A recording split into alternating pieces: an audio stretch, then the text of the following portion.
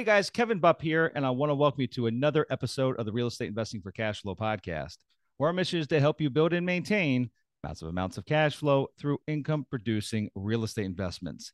Now, our guest for this week's show is commercial real estate investment expert CJ Follini. Now, CJ is the managing principal of Noyack Logistics, a public real estate investment trust that specializes in American logistics real estate infrastructure with a with core values based on the continue growth of e-commerce. Now, CJ's experience spans more than 38 years as a leading investment expert on alternative investment real estate, including healthcare, cold storage logistics, venture capital, media infrastructure, and qualified opportunity zone development. So, guys, I'm excited to get onto it here with CJ. But before we do, just have a few quick housekeeping items to run through. Uh, as I've mentioned the last couple of shows, uh, just been giving out a free copy of my most recently released book, The Cash Flow Investor. It is for sale on Amazon for twenty dollars, but if you'd like to save yourself twenty bucks, you can go over to kevinbupp.com forward slash free book to grab your free copy. Again, that's kevinbupp.com forward slash free book, and you can grab that free copy there. And it's the entire copy. It's not like a little a little teaser. You can get the entire thing right there. Um, uh, last thing here, guys, I want to me- make mention of you. If you're an accredited investor as an interest in partnering with with me and my team, uh, head over to investwithsunrise.com. You can learn about partnering uh, on current deals that we have in the pipe, but also deals that, that, that we've always closed on that are already you know passing out cash flow and uh, you know on a quarterly basis. Um, again, not only do we have a, a stout pipeline of, of active deals, uh, but our current offering, SCI Growth and Income Fund 3, currently has over 20 million of sweat equity that we've built since its inception just about a year and a half ago. And um, the opportunity is limited here. Uh, we're going to be closing this out here in the next couple of months. So if you want to invest in deals again that are already cash flowing and providing quarterly distributions, head on over to investwithsunrise.com. And just one last note to mention here. Um, 2022 is the last year that you'll be able to get 100% of the bonus depreciation benefits before uh, this incentive starts scaling back starting in 2023. And so, uh, if you guys don't know, again, we're in the manufactured housing space. Uh, mobile home parks are incredibly tax efficient. So, again, go check out our current offering at investwithsunrise.com. And so, with that, guys, I'd like to welcome our guest for today's show, CJ Follini. CJ, how you doing today, my friend? Well, thank you, Kevin. Thank you for having me on. Uh, it's a pleasure excited to have you here. And just to give our listeners a sense of uh, geographical uh, nature of where you're located, uh, where, where, are you based at today? Uh, today I'm in Southampton, which is the east end of uh, Long Island, New York. we also have an office in New York City. Okay, fantastic. And what I always like to do here, CJ, is you know I gave a very very brief introduction of you and your and your background. You've been at this now for for more than 38 years, and so what I prefer to do is pass it back to you and in your own words, maybe give us a little bit of a, a sense of of how you got started in this industry and, and ultimately what it is you guys do today. Great. Well, thank you. I will. Uh, so I'm a first generation immigrant. My my parents are both uh, immigrants from Italy, and uh, my father, a highly decorated NYFD, uh, uh, until uh, he left the force and left the job and became a builder.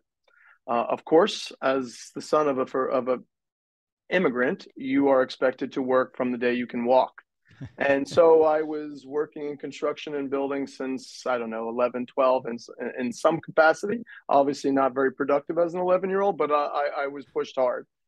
Uh, and with the education they afforded me, there are opportunities that come when you're in large scale building. For example, uh, land opportunities that that we took advantage of. And since it wasn't my father's bailiwick, he would say, as a 15 year old CJ, we have 500 acres in New Jersey, figure it out, which I did. And I met the Rockefeller Group, uh, wonderful people, and they are uh, on an interesting path. And we together, uh, our first deal and my first foray into commercial real estate, 38 years approximately, it, it keeps changing every year.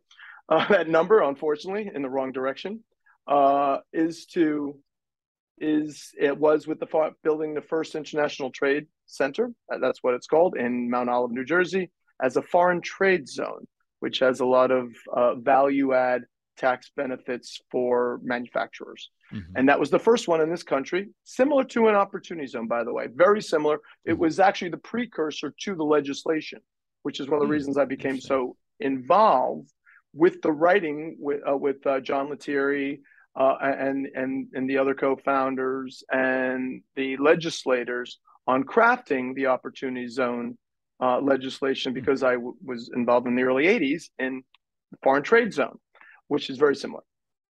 So uh, from that, as I was just telling you uh, on our little lead up uh, or a little precursor, uh, I thought it was easy. I thought, wow, first out of the box, hit a grand slam. This has got to be the easiest career on the planet. I'll just keep doing this for the rest of my life. And then, of course, I realized it isn't. It's very hard. It's complex. Times change as they already have. Uh, you go through inflation, which, by the way, 40 years ago was the last time we had 8% plus inflation. Mm-hmm. So I'm bringing this story full, you know, back full circle to a memory that was my beginning, which now has a little resonance with where we are in an inflationary period. Very interesting. And, and, and I want to stop you there for a second. I, want to provide some additional color and context to that very first deal you did. And, and maybe I, I don't think I grabbed your exact age when we had, you know, we were, we were chatting before we went live here, but you were a young fellow then. Tell me about yes, that. Yes. Uh, I met the Rockefellers when I was 15. They hung up the phone. I called them back again and again and again. And then I mentioned I sent a survey, which, by the way, we actually sent by mail then. Imagine that. I, I got a nice big envelope. I put the survey in. I said, This highlighted area is ours. This is where you are. Maybe we should talk. And then they said, Are you the 15 year old who's been hounding our office? I'm like, Yes, I am. And like, and you own all this land? I said, Yes, we do. They said, Yeah, you're right. We should talk. So and that's how it the, began. So the, the, vision here. Okay, let again, 15. I, I get it. So you kind of grew up in the industry uh, for only for mm-hmm. a few years, though, right? I mean, there, there, I mean, there's not really much that you can absorb when you're 10, right? I mean, when you when, no. you, are in the family industry, right? And so 15, 14, 15, at that point in time, you're starting to get a general sense of what's going on, but probably don't really ha- have a clue. You just don't, right? Even if, no. even if you are the prodigy 15 year old, which it sounds like you had some makings of that. And so with even with, even with all that being said, um, you know, your dad kind of saying, "Hey, go figure this out, CJ." Talk to me about those steps, and we don't have to go too deep here, but I mean, I just right. I, I, think there's more to that story that that folks can derive some uh, you know some some insights from. So just where'd you go? What was the first step? What I mean, sure. other than calling them, but why'd you call them? What was the reason? okay. Well, one, the name. Two, they were neighbors, and and the earliest lesson I learned, even before 15, was always look. If you're looking for expansion, look close, look next door, mm-hmm. and they were next door. So I said we have to monetize this large property, which had we had no plan for. There was no highest and best use, which you always should have. Mm-hmm. So ideally, what I learned was the the greatest lesson I learned from that entire project, other than we did very well and it was great, was what not to do. Every mistake in the book. In fact, I often when I I also do a lot of venture capital investing and I looked at founders and I and I look at their history just like we're talking about now, their origin stories, and I say, how many failures and how many problems have you faced? Like, oh no, I, I had two big wins and they were great. I'm like, great. So you haven't had any challenges that you weren't sure how to overcome and then figured it out. That makes me nervous. So what that I learned is that you take a blank canvas, you come at it, you, you pick the, the path of least resistance and you start on it. And then when it doesn't work, you you iterate, you find a way around that that obstacle and you do it again and again and again. And if you keep doing the same mistake over again, maybe you should look for a new career. uh, Definition of insanity, but, right? yeah, exactly. Definition of insanity. Uh, so that's what happened, and and so on one of those paths, uh, uh I I found them, and we started down the path. And by the way, getting entitlements for you know wetlands of hundreds of acres on a brand new tax concept like the foreign trade zone, even with a group as as storied as Rockefeller Development Group uh, was then, was many years, many many mm-hmm. years. In fact, I had a a failed minor league professional hockey career in that interim hmm. during before that actually came to fruition. Uh, in fact, that was easier than uh, not making it to the NHL was easier yeah. than than bringing this home, this development. That's but what funny. but what it afforded me was a a college course in mm-hmm. in, in large scale development, in, in yeah. industrial and logistics, and its future. And more than anything, operating all of these things in a high inflationary environment, yeah. which for us thought was going to go on forever. We never thought that Paul Volcker would actually crush the back of inflation but he did.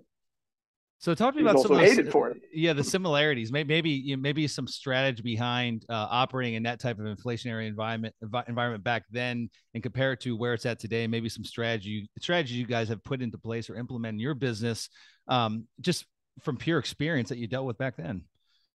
Well, yeah, that's good. So I, I try. I, I have actually been mining all of those memories, and unfortunately, those memories are fading a bit given my age. But uh, because we are in the same time, and I was speaking to someone, there's an entire generation, in fact, probably 1.75 generations, uh, that have never experienced what we are going through. Now, mm-hmm. I take heart in that because I have the experience. And as a very ultra competitive individual, I'm saying, well, if I'm competing against all these 30 year olds and they don't know the playbook, I'm going to win. and that's the way I look at it. Uh, and so I've been looking back on those days. I said, okay, development was interesting because we had a multi year, if not a five to seven year million square foot development that we had to project what tenancy and inflation and also build rates were going to be over three phases of a million square foot development. That's very hard yeah. when you're in a rising inflationary environment because your costs on day one are very different than your costs on day 500, right? But it's still part of the same IRR. So, what we had to do was to speak to tenants early. And, and again, this is where the Rockefeller Group came in great benefit because they said, All right, CJ, we have no idea who you are, but Rockefeller, we know that name. And if they're asking us to bet on them and you on a three years from now, we're going to do that. And I said, Great. They said, Now you're going to give us a discount for that bet. And I said, Great. Uh, and we did. So what we did, what we look, my I think my greatest lesson from that is don't go for the last dollar in an inflationary environment. Mm-hmm. Go for stability. Go for the bird in hand, whatever cliche you want to use, and then keep a portion of it for that high margin. So yeah. build the foundation first. Give up some of the IRR on that foundation. Retain some if you're right, because that last 25 30 40% whatever you whatever the numbers pencil out at is going to provide the high margin of that yeah. irr but you have your foundation and you have your you have your core costs mm-hmm. covered no, fantastic. That's great. I appreciate you sharing that. And so, you know, fat, let's fast forward to to, to and, and and more more specifically, tell us, you know, who what is Noyack, what it is you guys mm-hmm. specialize in, and um, um, just exactly you know what you're working on today.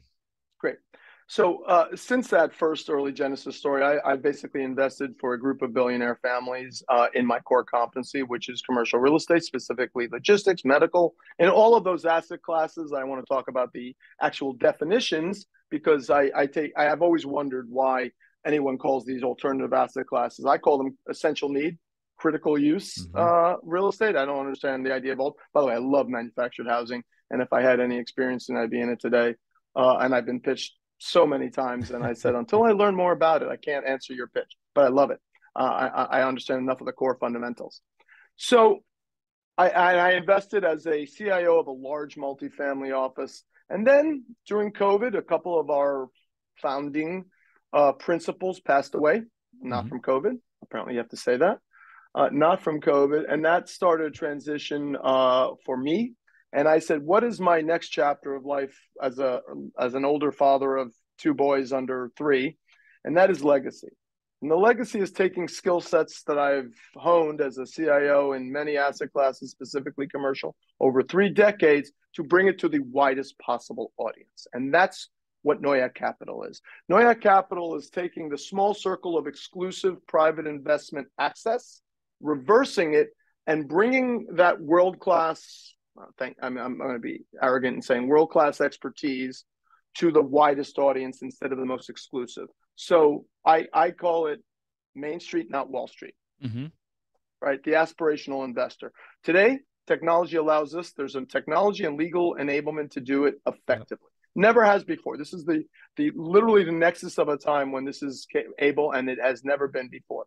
So that is what Noyack Capital is doing. We bring world class asset uh, asset management expertise and venture capital, obviously commercial real estate, um, uh, private durational credit, uh, consumer packaged goods to the aspirational investor. That's what we are. We're starting with a REIT. Mm-hmm. Uh, it is a REIT for both the credit investors, obviously, which is a Regulation D construction, as well as the non accredited investor, Regulation A construction. Together, they co invest at the asset level and it, together it's a $200 million entity. And the skills we're bringing to bear are in the so-called alternatives, the critical need uh, um, commercial real estate, underpinning the digitization of our economy, our retail economy, our e-commerce economy. E-commerce is still, even with I'd say a little bit of its maturation, its life cycle, accelerating at a 5x pace. Mm-hmm. The infrastructure needed to support all of that, especially cold storage, the cold chain, is less than 3x that meaning there's a 3x demand supply imbalance mm-hmm. and it's continuing. Now, it's not increasing year over year, but it's still continuing far apace. So there, there are years when we're not going to be able to fill the need for cold storage, dry warehouse, um, uh, last mile fulfillment, healthcare buildings, and our research and development or life science buildings. No, that's great. That was one of the questions I wanted to ask you. So just just to give clarity there, um, right now we're seeing about a five x growth rate uh, in, in e-commerce.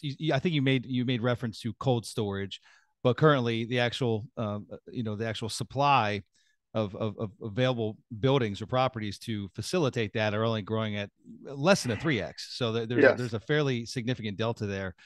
What what is the projected growth of of of the you know e-commerce space over the next decade? I mean, is it you said it, it probably won't continue at that five x year after year, and so no. Uh, what does that overall trajectory look like? At least if we could you know capsulate that in like a, a decade or ten year span. Okay, well, I mean, it, it depends on the metric whether you're talking in in trillions of dollars or in year over year growth. The year over year growth is, is slowing that and because it's it's a natural maturity it's not slowing for any external force i mean there are some um, China being taken out of the equation, globalization mm-hmm. being reversed, onshoring. There's there is a there are a lot of uh, momentum forces in the economy today. However, there's just more people already doing it. There, we already have some adoption, so we're way past early adoption. We're now into the maturation, and for me, that means that all of the low hanging fruit on what digitization brought to this country has been yielded.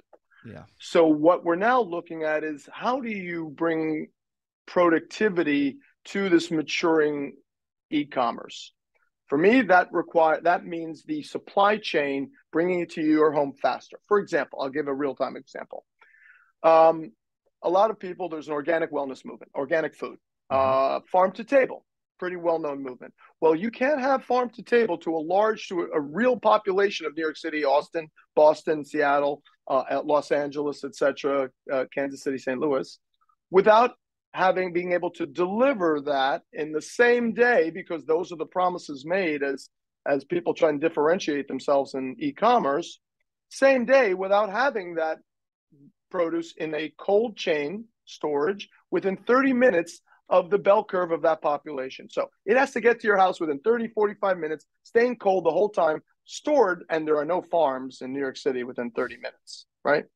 Mm-hmm. So it has to go to an intermediate space, then get to your home within 45 minutes before it spoils. All of that has to stay cold. Well, all of that to do it to a large population requires space, infrastructure, systems, and engineering. Mm-hmm. And if this movement is going to increase, which it is as a wellness movement for a, in a lifestyle, especially post COVID with all of our concerns about health, our infrastructure has to improve dramatically and increase. Dry warehouse is different. That's an example of the cold supply chain and what could happen with uh, uh even as parts of the digitization. I call digitization, for example, Cold storage is part of that e-commerce, meaning you order your food from Whole Foods and you say, I want it today. You ordered it online. You never went to the store. You never left your house. Mm-hmm. That's e-commerce. To do that at scale, we have to change our entire cold storage supply chain in this country entirely, triple it, and do it within a year.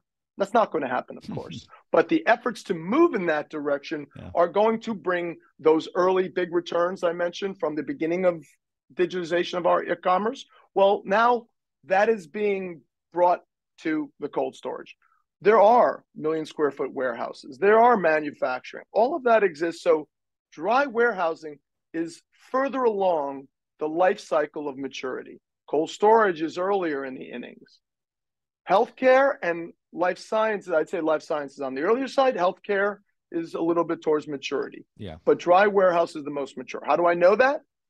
Well, all of the alternative investment firms, Apollo, Ares, Blackstone, of course, Harrison Street, uh, uh, PGIM, et cetera, et cetera.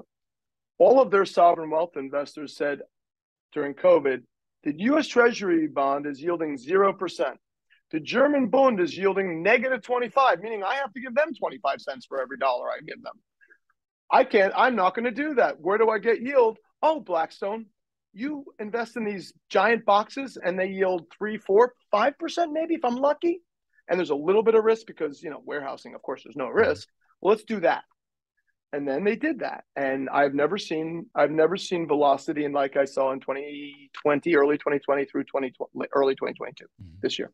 Then the treasury went up to 4% as it is now. The yield right now is at 4.1%. And all of those sovereign wealth funds in Singapore, Temasek, and Germany and all that, they call up Blackstone and they said, guess what? I have a place to put all those billions of dollars, and it's called the US Treasury with no risk. So those boxes, get me out. And no one, no one forgot to tell them that when you get into a giant million square foot warehouse, you don't get it out the same day. But that's what's happening right now. I have never seen the same way I never seen as much the price go up and the and the velocity happen. I've never seen it reverse so fast. And that's what's happening right now. That's what can happen with low barrier to entry dry warehouse. You cannot do any of that with cold storage. Yeah, it requires expertise and management. That so they talk, that yeah. Go ahead. No, I was, I was just going to ask what, what what role at this point, like what what is Noyack? What role are you playing to uh to take advantage or you know to seize that opportunity in the cold storage space? Well, buying at the highest price and going into a bid is not what I call really a no, value add. No. Yeah, I, I call that lemmings. So, uh, you know, the people who follow each other off the cliff. Is there readaptive um, uses of some of this uh, dry storage into cold storage? No, no, okay. no. Dry storage is not. It, it, well, yes, it, that is true, but the price that people think they should be getting for dry for dry warehouse is never going to lend itself to Understood. opportunity to repurpose. So when you're repurposing, the easiest way right to do now to turn dry into cold is take a big box and make it a smaller big box, right? So, for example, I'll give you a real time example. We are buying, uh, I probably, eh, that's all right. I, I, I think I can still win. We're buying Sears. Sears went bankrupt, right? There's a lot of big box Sears. No one wants them. They're pretty cheap. If you know what you're doing and if you have the expertise, you can turn a big box empty Sears, former Sears, formerly Sears building into an excellent, well located cold storage facility. Mm-hmm. That is an idea that takes experience, expertise, networks, because you have to know the proper engineers, the foundational engineers, because if you try and do super cold, you'll crack your foundation and there goes your entire building. Not many people know that when they sit in Midtown and never leave their building, Midtown Manhattan, i.e., sure. Blackstone. So um, these are things that we're doing. We're looking at repurposing parking garages. I don't know if if we mentioned that in the in the uh, in the intro, but I love we, parking garages. We we own parking garages. We love. I love them too. what happens when people stop parking? Yeah. What are they then? They're wonderful, low, well located, mm-hmm. giant, uh, giant buildings for re, for adaptive reuse. And those are going to be the fulfillment centers. In fact, we branded it Next Mile. It's almost like the seven minute abs, six minute abs are better. So the next mile fulfillment center are going to come from well located downtown large parking garages. We're going to mm-hmm. put cold storage pods for that that Whole Foods uh, that Whole Foods uh, artisanal grocery on the top floor. We're going to then put EV charging for fleets like Amazon, etc., and Hertz on the next floor. We're going to do co-warehousing for small business operators on the floor below that. And then the two bottom floors are going to accommodate the, what's left over from our post COVID 30% parking demand. I love it. I love it. Do you see? Are, are there any um, readaptive use projects happening in the in the parking sector? And I, I don't know the. I'm asking that because I, I have not heard of any, not to the extent of what you just described there. I have not heard of any projects such as that uh, already taking place. Uh, have you seen anything like that across the country yet? I have. It's this little firm. They're small but mighty called Noyack. Uh, they're doing okay. one in. Well, there we go. Yeah, yeah. All right. So bad dad joke, but yes, uh, we're doing one in Columbus. It's and okay. by the way we've also brand we call it a mobility hub, and the reason mm-hmm. we call it a mobility hub is because it it takes into place that you're accommodating mobi- you know mobility solutions, mobile solutions for logistics, and mm-hmm. that's that's going to be the first leg of the adaptive reuse. Is as I said, uh, fleets, fleet storage for logistics. Um, actually, we've had conversations with the with the drone delivery companies because again we have a lot of large garages with giant top floors rooftops, that yeah. drones can land with rooftops that drones can land and then the the vans the low cube vans that are on the floor right below it will take those deliveries and bring them to the homeowner within a few miles uh, lowering our carbon footprint uh, along the way which makes it an impact and a sustainability investment so yes, we're doing a large. We have a 1,200 car garage in downtown Columbus, mm-hmm. Ohio, one of my favorite tier two markets, by the way. Uh, and we're doing one. There, I do know of some that are doing co-warehousing in New York City. The problem with that is there's not a problem, but the difference is that these are underneath large towers, yeah. and it's very restrictive when you don't have a full structured parking facility mm-hmm. and you're part of another building which has a lot of co- competing agendas. So I don't do that. Um, I, I, think that's uh, a, a, tougher, and I'm not so sure about its long term. But if you have a long, if you have a giant parking garage that's well located and it's operating at 25% capacity post COVID with your parking, well, that is a prime, that is a prime um, suspect for uh, to become a mobility hub and do next mile fulfillment. I'm assuming there could be some great opportunities here coming in the next couple of years in some of these uh, in, in some of these larger cities, such as a Columbus, that um you know you know where the all we, we have yet to see how the you know how the office sector how it really plays out over the next three four five seven years right and uh, i think we can all agree that there's going to be a slight shift right? It's going to be market by market you know employer by employer of, of what the requirements are of getting the workforce back in. Is it bigger workspaces? Are they taking less square footage right? There's there's all these variables here that we just don't know exactly how they will all play out but we do know that there's a lot of these you know uh, you know tall structures that were built you know office structures that were built you know 30 40 years ago also came with a fairly significant parking component. A lot of times it's a detached but attached you know by some type of breezeway or walkway uh, parking facility do you see there being opportunities there not necessarily just for the you know readaptive use of an office maybe into a multifamily or some other type of project but again more specifically to the parking um, component of it Absolutely. Uh, I mean, the, the concept of parking is changing dramatically. Is there a mm-hmm. five year we're all doing uh, driverless EV? No, of course not. Yeah, no. It, it, it's always there's always hype at the front end of every new mm-hmm. movement.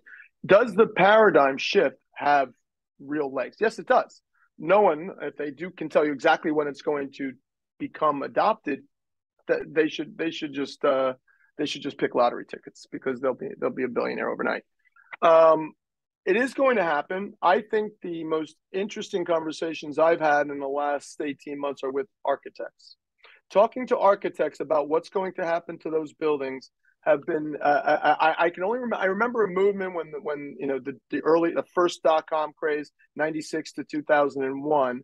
Um, that was the last time I had as much fun talking to architects because remember it went from cubicles and all these first to open floor plates. Yeah co-working style, all mm-hmm. these ideas. And they were great ideas until no one wanted to fund dot-com companies.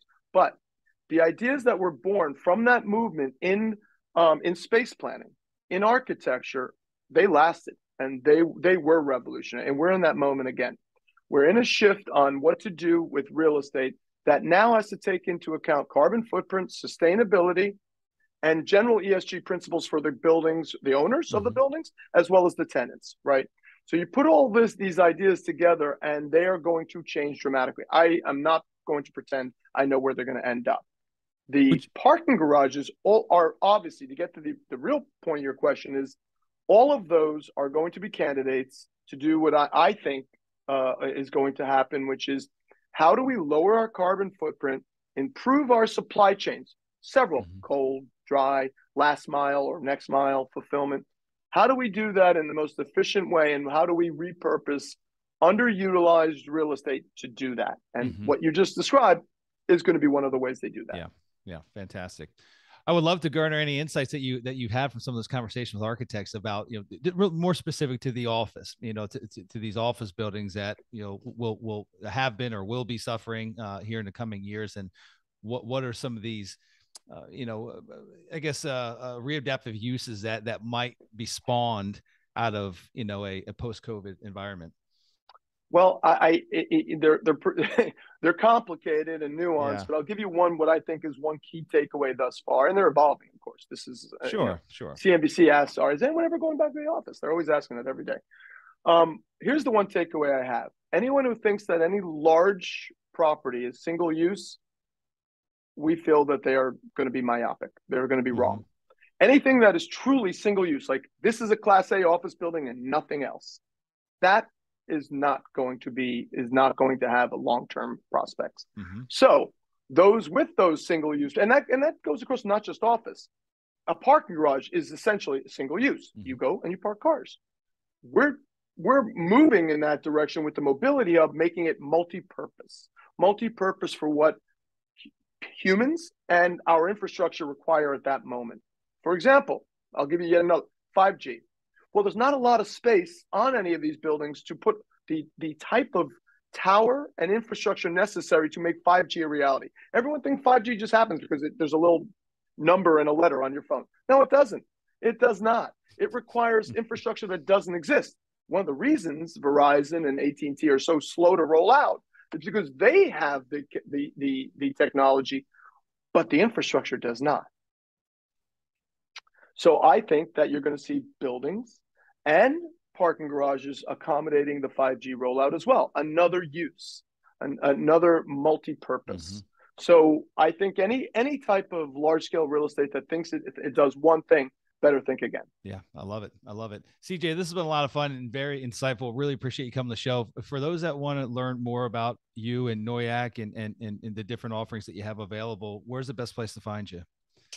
Uh, Noyack, spelled N O Y A C K above my mm-hmm. head, noyacklogistics.com. That is our current offering. Mm-hmm. We are in, I'm not going to send you to the Noyack Capital because we're going to debut something pretty interesting in about two months, which is going to be free and a and a, and called Noyack Investing Club. So it's going to be give, doing just what Kevin does, is to provide free ideas and actionable advice and expertise and then to empower the aspirational investor to take control of their private investments. So right now, noyacklogistics.com, and you can speak to us, and we'd love to talk more about critical need infrastructure and how to invest in it and bet on the American supply chain. Fantastic. Guys, I'll put that in the show notes. CJ, again, thanks for joining us here today. Hey, Kevin, I really enjoyed it. Thank you very much for inviting me. Real pleasure. Alrighty, guys, that's all we have for this week's show. So until we meet again next week, this is your host, Kevin, Bupp wishing you huge success. Take care.